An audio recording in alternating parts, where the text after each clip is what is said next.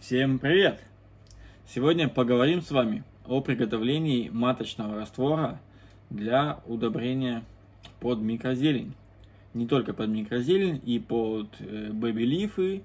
И также это удобрение можно использовать для томатов, либо перцев, огурцов. У меня и томаты черри, и перцы сейчас растут без проблем. Именно на народном удобрении. Начнем с того, для чего вообще надо удобрять нашу микрозелень. Сразу скажу, если вы выращиваете для себя, чтобы покушать, такие культуры, как э, редис, подсолнечник, горох, рукола, брокколи, крест-салат, в общем, все зеленые культуры, которые растут там до 10 дней, для них удобрение не нужно. Минеральные комплексы для них не нужны. Они растут прекрасно на воде. Да, они будут не такие красивые, как, к примеру, на удобрении, но для себя вполне хватит. Вам не на выставку с ними ходить.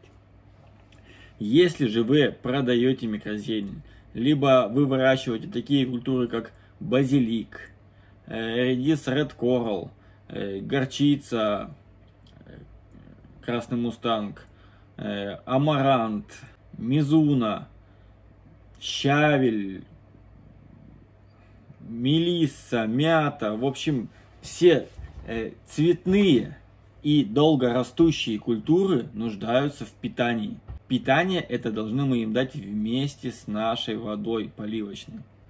Я думаю, с этим мы разобрались. Для чего нужно питание. Дальше. Э, на рынке можно сейчас э, приобрести уже готовые компоненты для приготовления маточного раствора.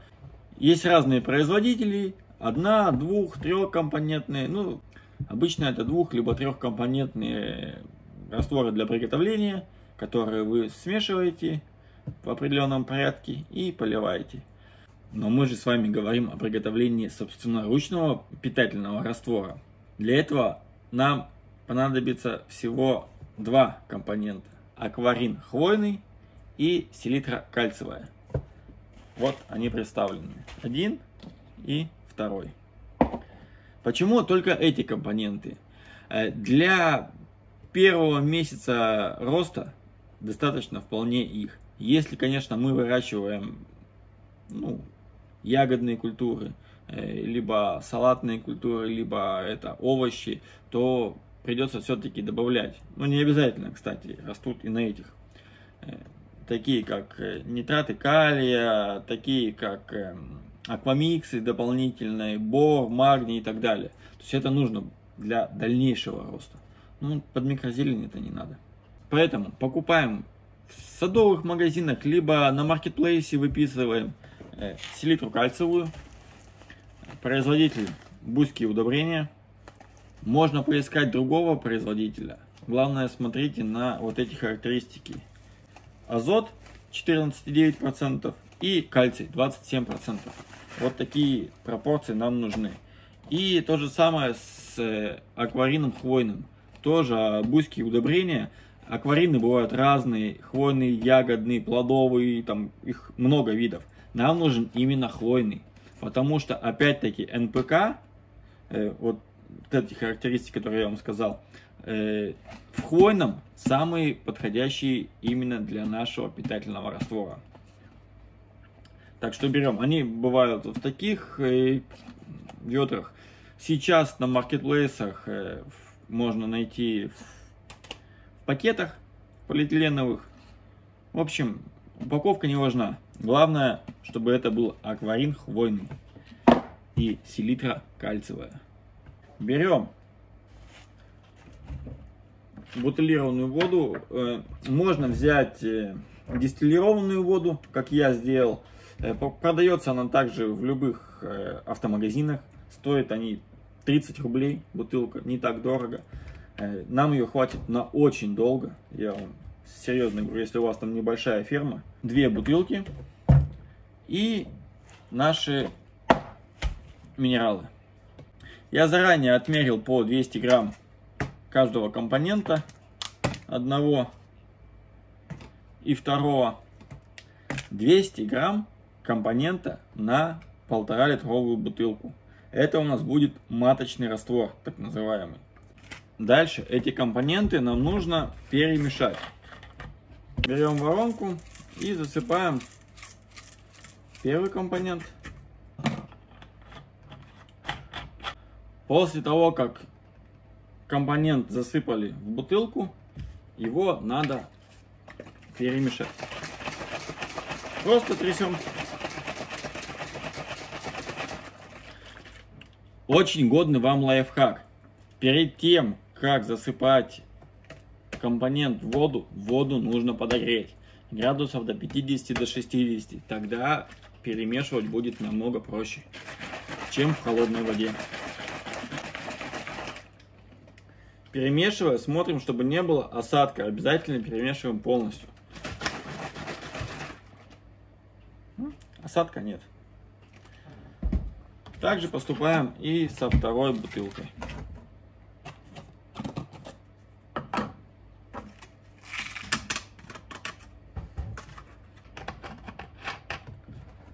Точно так же перемешиваем.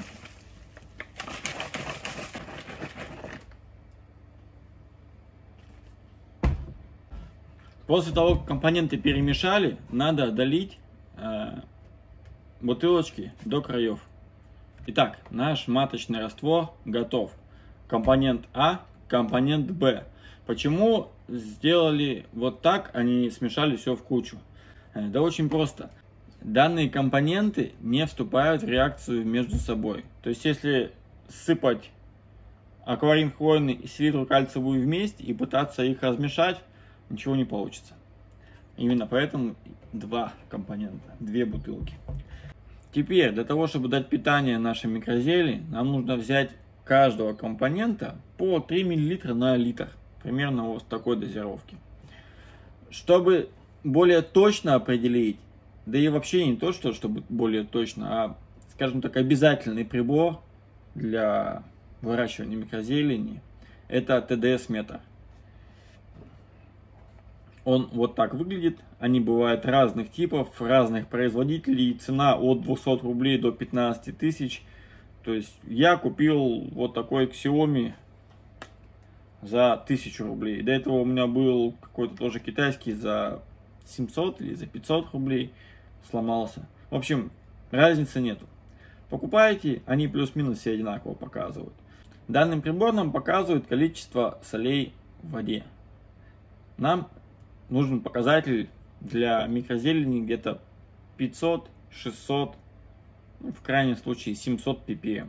Для таких культур, как базилик, щавель, мелиса, мята, там уровень ppm нужно повысить до 1200-1300. Что, потому что растения уже довольно большие, крупные, листья у них уже вылезли настоящие, поэтому им питания нужно больше в два раза. Итак, что мы делаем? Мы берем каждого компонента по 3 мл, вливаем в литр воды, измеряем нашим ТДС метром, и у нас должно получиться где-то 600-700 ppm. Этого вполне достаточно. Высчитываем, сколько раствором нам, вам надо. Ну, к примеру, там сажаете вы 10 лотков.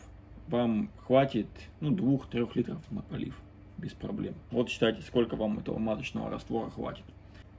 У меня два стеллажа стоит, два бака по 120 литров. У меня вот эти бутылки уходят за 5 дней.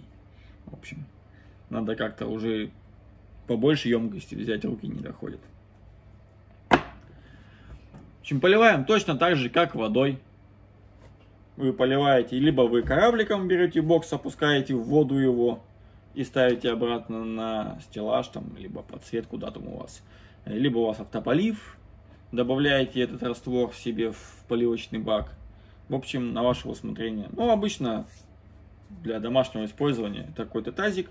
Заливаете туда воды, добавляете туда раствор и в него уже опускаете боксы с микрозеленью для полива. Э, также еще есть один прибор, это pH метр.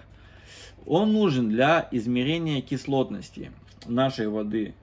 Но, скажем так, для выращивания микрозелени это не особо имеет роли, так как воду, если мы используем водопроводную, с магистрали городской, то там уровень pH обычно 5,5, 6,5 в этом районе держится. Нам этот вполне уровень подходит. Если он не сильно отклоняется, то ничего страшного, наши растения не успевают никак среагировать на кислотность воды, повышенную либо пониженную, потому что они растут в короткое время. Если вы растите зеленые культуры, салатные, допустим, которые растут там 30-45 дней, либо овощи выращиваете на гидропонике, которые растут ну, долго, месяцами, то там надо контролировать и уровень pH, и ppm, это строго, конечно. Там уже используются и дополнительные сульфаты магния, и аквамиксы, и бор, и железо. В общем, там целый комплекс такой для удобрений нужен. Итак, тезисно. Повторим, что нам нужно для создания народного компота. Акварин хвойный, селитра кальциевая, чистая вода, каждого компонента по 200 грамм на полтора литровую бутылку. И, как говорил агент 007, сболтать, но не смешивать. Шучу, смешивать тоже. Надеюсь, у меня получилось вам объяснить, как приготовить народный компот для питания микрозелени и бэби-листов, и овощей, и салатов. Кстати, для того, чтобы выращивать салаты либо овощи, вполне достаточно того, чтобы увеличить ppm вот этого же раствора с 600 до 1200-1300. Ну, конечно, будут проблемы, будут проблемы с плодами, будут с цветоношением, с плодоношением проблемы, но растить можно. Если остались вопросы, задавайте в комментариях. Также подписывайтесь на мои социальные сети. Там я ежедневно рассказываю, что у меня происходит на моей сети ферме, как я продаю микрозелень, как я ее выращиваю, какие бывают сложности, как я с ними справляюсь. В общем, подписывайтесь, ставьте лайк, пишите комментарии. Всем пока!